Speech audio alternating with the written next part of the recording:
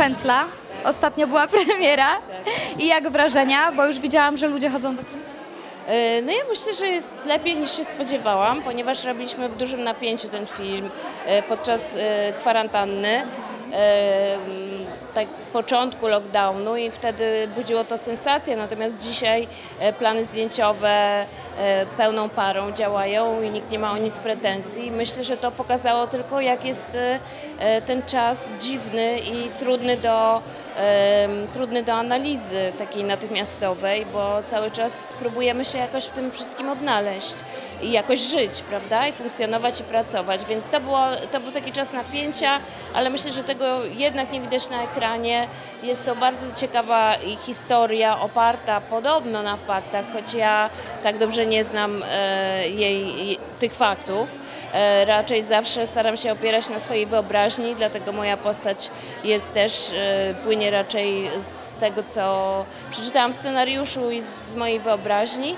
Myślę, że to jest taka ciekawa historia, jeżeli chodzi o relacje damsko-męskie, o to, kiedy dostajemy e, mocno po głowie w takiej relacji, kiedy jesteśmy zdradzone, brutalnie porzucone i co się dzieje wtedy. Lubię bardzo moją postać, dlatego że że ona po prostu się mści w taki sposób, że jest bardzo profesjonalna, perfekcyjna w swojej pracy i e, wraca, e, wraca do siebie, wraca do swoich zasad i, e, i na tym zyskuje. Że to... Czy mogłabyś się z nią zaprzyjaźnić, ze swoją postacią?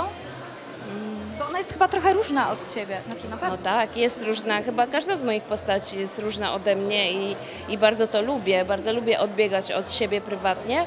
E, czy ja bym się z nią zaprzyjaźniła? Myślę, że to jest ostra babka. Nie wiem, czy bym wytrzymała po prostu takie... E, potrafi być perfidna, potrafi bardzo mocno grać. E, no nie wiem, mam wątpliwości. Chociaż myślę, że stara się być uczciwa. Ja przyznam, że ja jeszcze tego filmu nie, nie widziałam, ale mam zaproszenie e, od PR-u, także się wybiorę. Ale z tego, co mi wiadomo, to ty tam e, grasz blisko z Antkiem Królikowskim. Jak? Znaczy to jest ten mężczyzna, który mnie właśnie zdradził, rozkochał i zdradził. E, No, e, myśmy spędzili bardzo fajny czas na planie, bo lubię jego podejście do zawodu, takie bardzo, e, takie trochę lżejsze niż przeciętnie, e, chociaż jest mega profesjonalny, zawsze oddany e, w każdej chwili, i, e, ale też przerwy są z nim super, bo, bo ma nie, świetne poczucie humoru i, i sporo się śmialiśmy, pomimo że temat może nie był do śmiechu. Tak, ja tutaj jak czatowałam na rozmowę z tobą, to trochę podglądałam was w kuluarach i widziałam, że wy macie też dobrą relację po prostu prywatną, czyli to jest tak, że te znajomości z planu przenosi się potem do życia No prywatnego. jest bardzo różnie, po prostu tak jak między ludźmi. Czyli niektórzy się lubią, inni nie. E, Są ci, którzy działają politycznie, czyli tak, żeby wszyscy ich lubili, żeby zachować dobre stosunki.